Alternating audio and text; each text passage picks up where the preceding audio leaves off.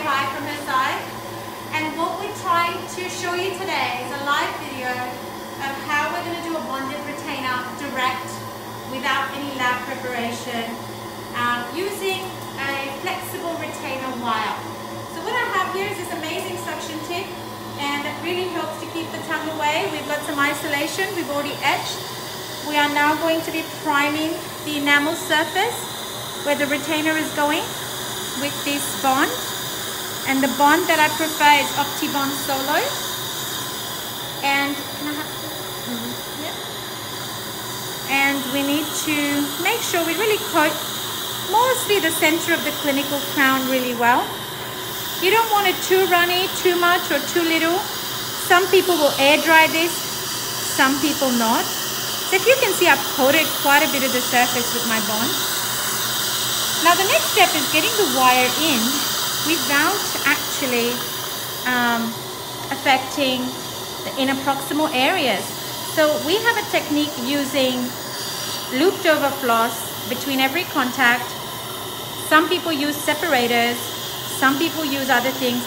Now Mira's here helping put these in. And we'll be threading through the retainer wire in a sec through all the floss strands okay? So we have one more contact to do.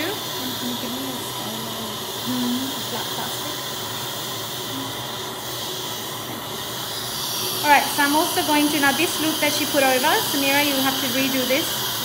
Yep, it needs to be big and wide. So you don't want your loops to be too thin. They have to be wide and open. And now we'll have a retainer wire that will be slipped through all these loops. The retainer wire has been pre-cut to the right size from canine to canine.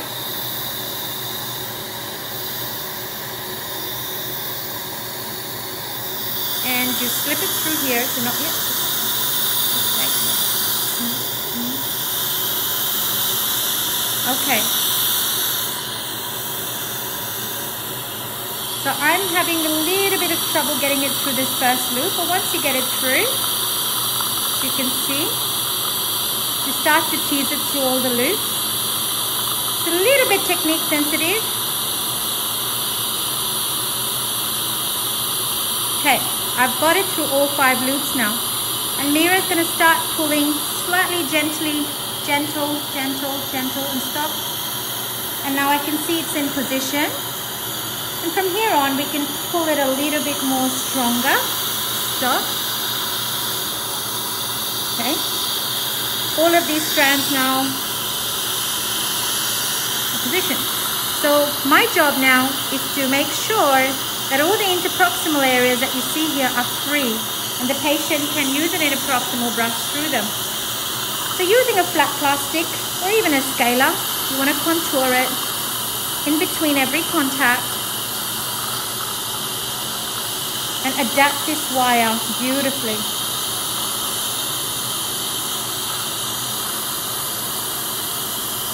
You want to make sure you don't add any activi activity onto this wire. Keep this pulled tight and mm-hmm. centered. Okay, Transbond LV is what I love to use and you just put little dots here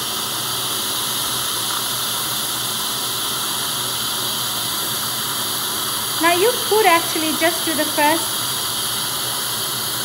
this the ends of the wire first.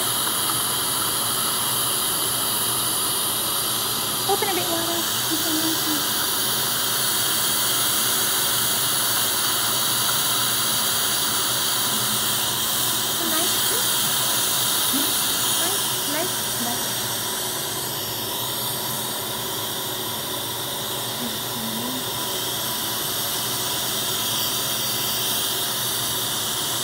Okay, so I've just quickly tack cured this, so we're going to continue on.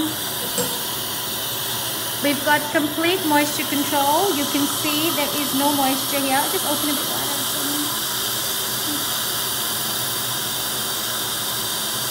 This can be done with indirect bonding as well.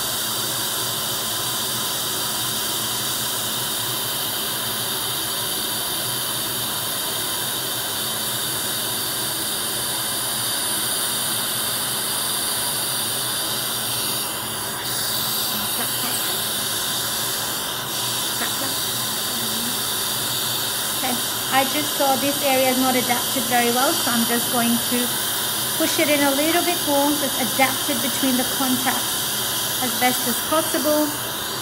And now I'm going to do a, a quick cure again before adding more resin.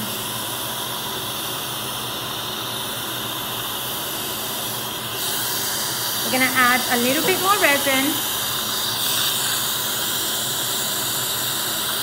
And now I'll need the microbrush. So once I put the final layer, I'll make sure it's smooth. You don't need too much here. Just enough to cover the wire in the center. This is a flowable composite.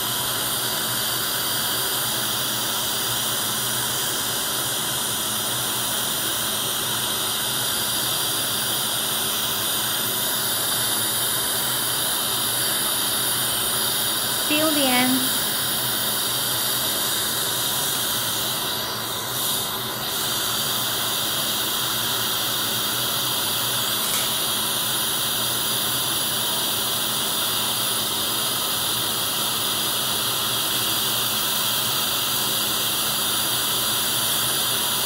making it all smoother. Okay, and we do a final cure. So now while Mira is curing, I'm going to talk to you a little bit about this, Amira. Actually, I want to show one more thing. So 20 seconds each time.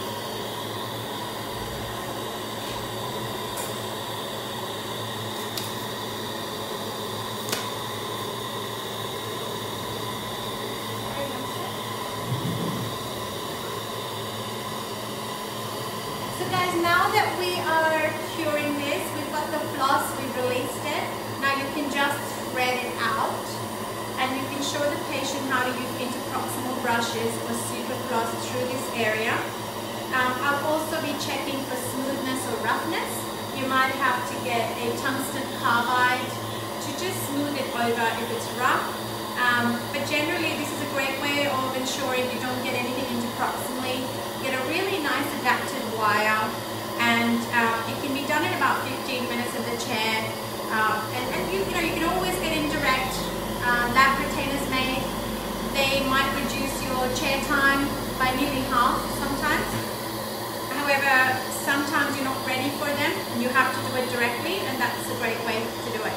So thank you guys. Thanks for watching